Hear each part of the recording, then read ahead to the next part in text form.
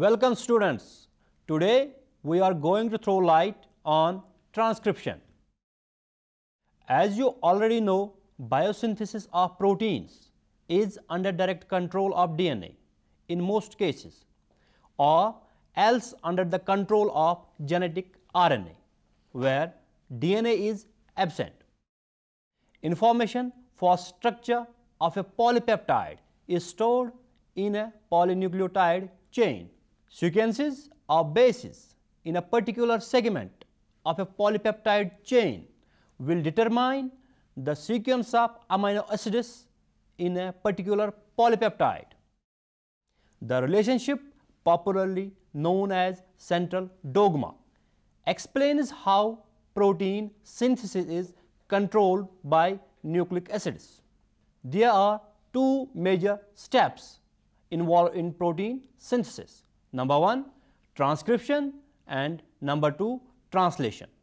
Transcription involves transfer of genetic information from DNA to mRNA and translation involves translation of language of nucleic acids into data proteins.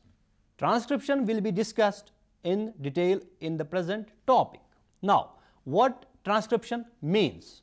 Transcription is the synthesis of RNA which carries the genetic information present in DNA.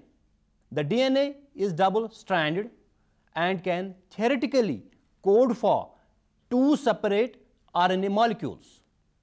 However, it has been found that only one of the two strands of the gene is transcribed. Only in a few exceptional cases, both strands are transcribed. This is possible because the promoter is asymmetrical and unidirectional. The DNA strand which have a sequence homology with the RNA is known as the coding strand. The second strand which is complementary to RNA and serves as the template for RNA synthesis is known as the non-coding strand. It is therefore a misnomenclature as it is the non-coding strand which is in fact transcribed to form the primary transcript. Here we will discuss transcription in both prokaryotes as well as in eukaryotes. First of all, transcription in prokaryotes. The principal enzyme involved in transcription is the DNA dependent RNA polymerase. To understand the transcription, it is necessary to learn more about the RNA polymerase. The bacterial RNA polymerase consists of five polypeptide chains, including two chains of alpha polypeptide, one chain of beta and beta dash, and sigma polypeptide.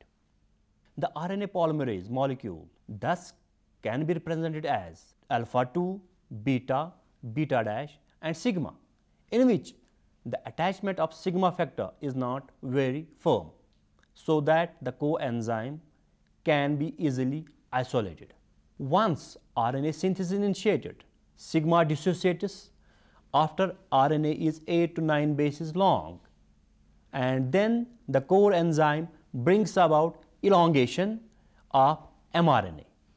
The dissociated sigma factor may again combine with core enzyme to form RNA polymerase holoenzyme. Events in transcription. The entire process of transcription can be divided into following steps. Number 1 template recognition. Number 2 initiation. Number 3 elongation and number 4 termination. Let us discuss them one by one. Number one is template recognition. RNA polymerase has to recognize the correct region of the gene. Gets bind at that site which is minus 35 region. The size of the RNA polymerase is such that about 60 nucleotides in the gene are involved in binding of the enzyme to the template. Sigma factor has a vital role in specific binding of this enzyme with the template. The binding of core enzyme without sigma factor to DNA is not promoter specific. The promoter enzyme complex is formed only with the help of sigma factor, which is very important for the transcription. RNA polymerase sometimes binds at a site other than the promoter site and is known as loose binding. Sigma factor is responsible for the specific binding of RNA polymerase and reduces the chances of loose binding to a greater extent. Number 2 is initiation and elongation of RNA synthesis in prokaryotes. RNA synthesis by RNA polymerase has following steps. Number 1, the holoenzyme binds at promoter site forming the closed promoter complex in which DNA remains double helical. Number 2, the closed complex isomerizes and causes unwinding and separation of DNA strands to form open promoter complex. Number 3, after unwinding, only one of the two strands is copied, which is achieved by incorporation of nucleotides initially without movement of enzyme leading to the formation of RNA chain up to 9 bases in length. During the incorporation of these 9 bases, at every step, there is a possibility for the release of this small RNA chain, a process described as abortive initiation. A cycle of abortive initiation usually occurs, generating a series of short oligonucleotides before initiation is usually successful. Number 4, once initiation succeeds, the sigma factor of RNA polymerase dissociates. Number 5, the dissociation of sigma factor marks the entry of NusA protein, which helps elongation and promotes pausing and termination at specific sites. Core enzyme now undergoes a major conformational rearrangement and a stable elongation complex is formed. This complex moves along DNA synthesizing RNA all along its path at a rate of about 40 bases per second at 37 degrees centigrade. Elongation of RNA transcript continues till an unstable termination complex is formed. Number third is termination. The termination of mRNA chain in prokaryotes is brought about by certain termination signals on DNA. These DNA sequences providing termination signals are called terminators. Once the enzyme hits the terminator, it falls off the template and the transcription stops. The termination signal whenever found on DNA can be of two types.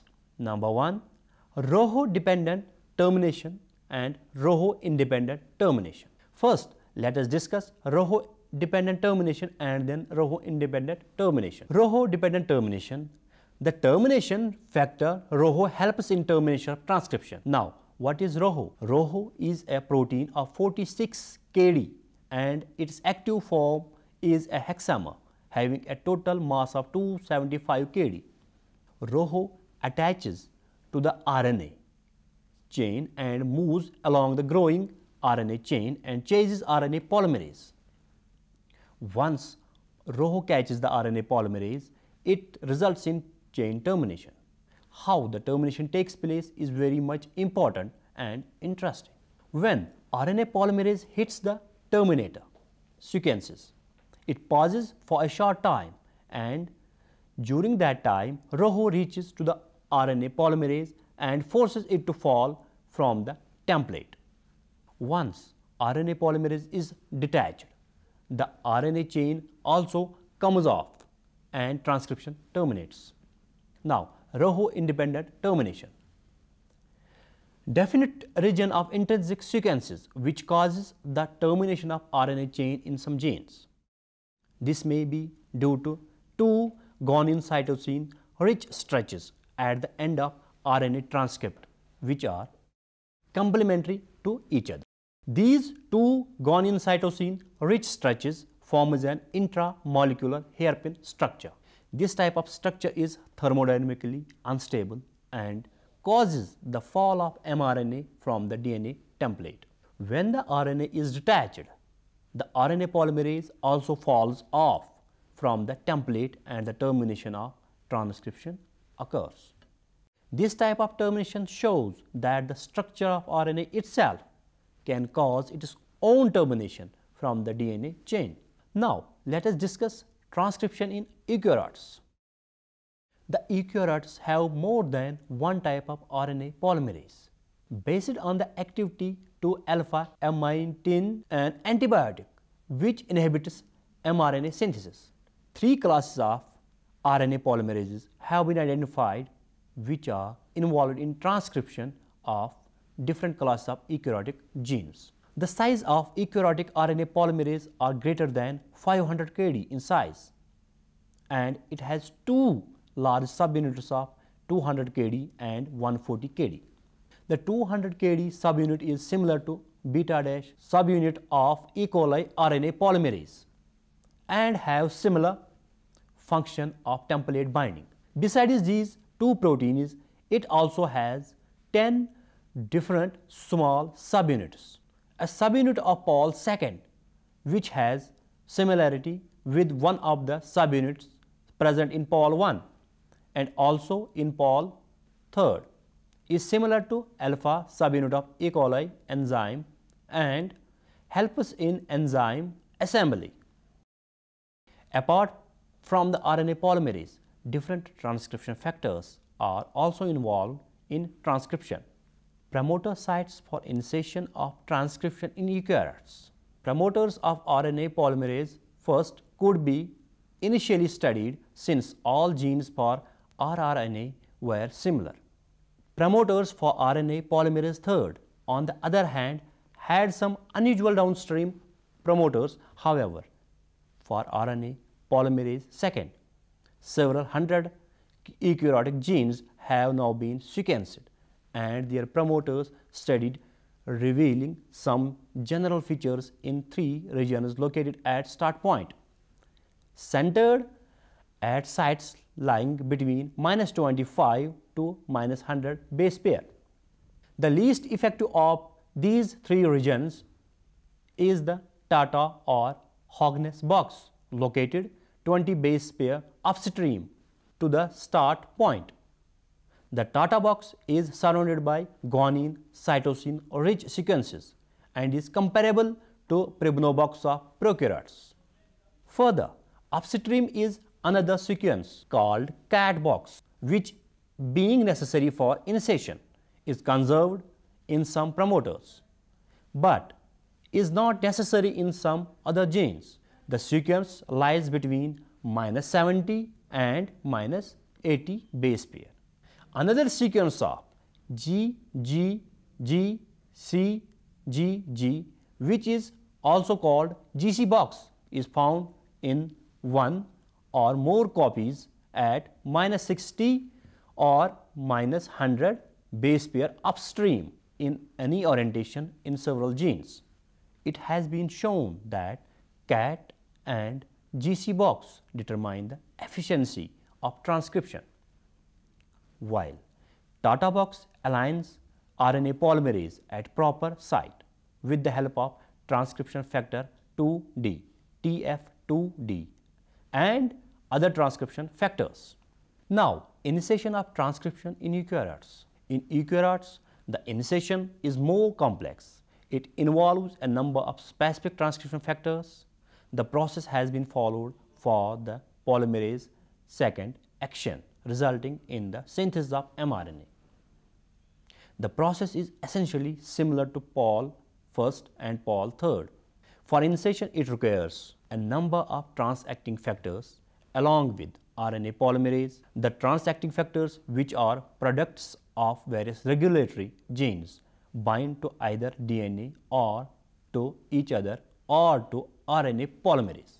They can also bind in various combinations. All the transcription factors involved with Pol II are called transcription factor 2.